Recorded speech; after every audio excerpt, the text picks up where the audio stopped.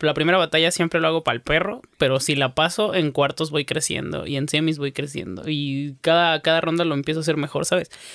Y ese día me pasó eso, pero como que por mil, güey. Pero no sientes que a la hora de tú tener esa mentalidad de que te pasa eso siempre, estás limitándote a no echarle tantas ganas a las primeras rondas. Sí, sí, sí. De hecho, he estado tratando de competir contra mi propia mente por decir, eh, güey, necesito por lo menos hacerlo muy bien en octavos. Porque para mí los octavos son cruciales, güey. Yo si paso de octavos te puedo hacer un fiestón, güey. por eso. Si puedes, elimíname en octavos. Porque si no, me voy a meter a la cocina.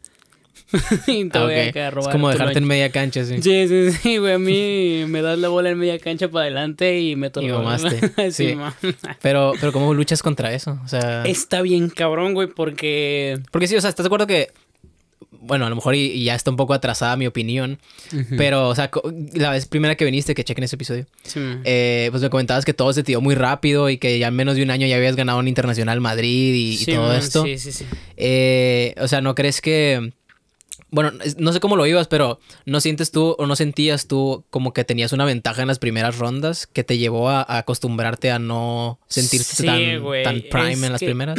Es algo que yo creo que le pasa a un chingo de gente y algunos se dan cuenta y yo creo que otros todavía no se han dado cuenta, pero cuando la gente te tiene cierto cariño, porque es lo que pasa, te gana cierto cariño, te aplauden hasta los pedos, güey. Y quieras que no, esa madre, el subidón anímico que te da a la hora de que estás batallando es increíble, ¿sabes? Y te ayuda a confundirte a ti mismo, confunde a tu rival y confunde a los jurados, güey. Porque hay muchos jurados que no tienen como que un criterio bien forjado y, se, llevan por los gritos. Porque a mí me ha pasado de que de repente llegas y no es, no tiene que ser precisamente un jurado, pero alguien del público, por ejemplo de repente se escucha acá la bulla de wow, a la verga, un vato clavó un punchline, güey. Te le acercas y le preguntas al vato qué dijo. No, pues es que dijo eso. Y tú te quedas así como que. Ajá. ¿Y qué quiso decir? No, pues no sé, güey, pero el vato dijo que le iba a sacar el intestino con un bisturí forjado en paladio. Y entonces así como de que... Ah, y se vino. y ya, remató así, güey. Sí, algo nada que ver, güey. Sí, sí, sí. Y todos así como de que, oye, a la verga, qué pedo con ah. este dato, a la verga. Y, Aplauden cosas que luego ni entienden, güey, pero Así, pues... el, el, Mario McQueen, güey. el Mario McQueen, güey, y el Rayo Que saludos a... para la Batista, te quiero mucho, cabrón. Pinche Toño.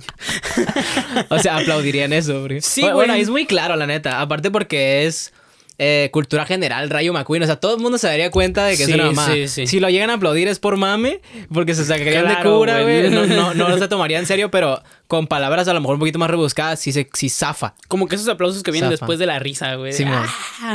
O sea, con palabras más rebuscadas sí, sí zafaría. Sí, güey. De hecho, hay un chingo de gente que neta hace eso, güey. O sea, rebusca palabras para que la gente diga. Sí, rebusca palabras. Pero rima y Sí, güey, y, hasta rebuscan los conceptos, ¿sabes? Y hablan de cosas que son muchísimo más grandes que cualquiera.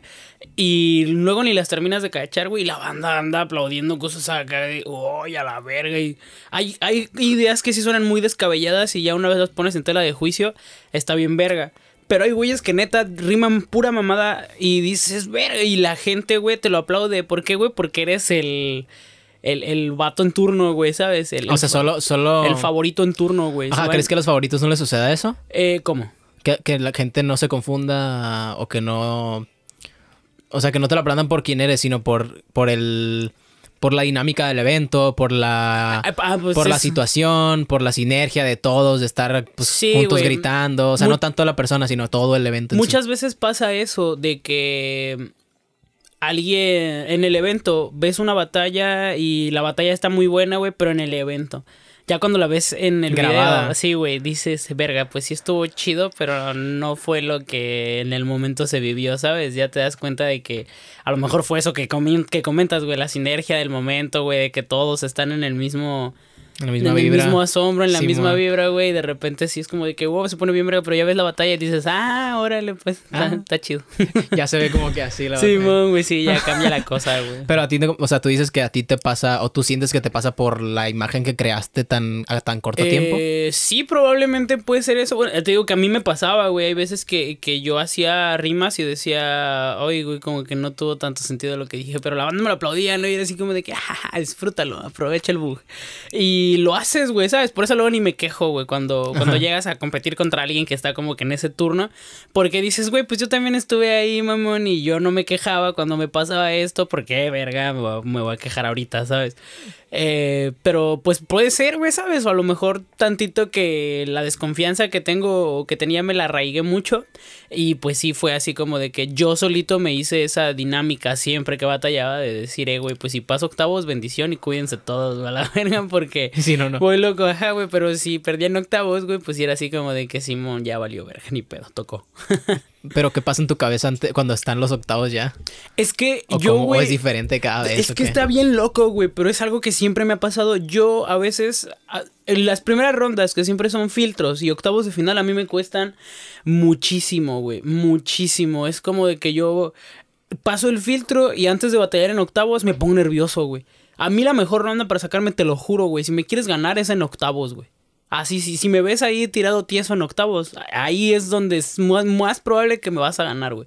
Porque estoy frío, porque estoy nervioso y porque no, no, no carburo ya como si hubiera calentado, ¿sabes? Y muchas veces hago esa de que me pongo a improvisar antes de, de, de empezar las batallas, pero no me sirve tanto, güey. Y neta no sé por qué sea, pero me pasa muy a menudo eso de que me pongo muy nervioso, güey, antes de empezar las batallas, güey. De hecho, me ha tocado dos que tres veces que me han dado ataques de pánico, güey, de ansiedad, güey, antes de competir. A la verga. De que me empiezo a sentir de la verga antes de batallar, güey. Y cuando pasa eso, por lo general pierdo, güey. Y a lo mejor paso octavos, pero pierdo en la siguiente ronda o así, ¿sabes? Porque me siento raro, güey, desde el principio. Está bien loco ese pedo, güey. La neta no sé por qué me pasa, güey. Me gustaría que alguien me dijera por qué me pasa. que me avisen cómo cambiarlo. Sí, güey, llévenme a terapia, por sí, Desconfigúrenme. Págame la terapia. Que me lleven, que me lleven al show de John Milton, güey. Que me, que me hipnotice, güey. Y que me quite esa maña. Que me hagan una regresión, a lo mejor yo sé eso, güey. que me dé un CD que diga que, que me duerma así. Duérmase, Duérmase. Y a la, de tres vas a dormir. Ya no, ya no vas a perder en octavos. así, güey. Imagínate llegar bien hipnotizado a unas batallas.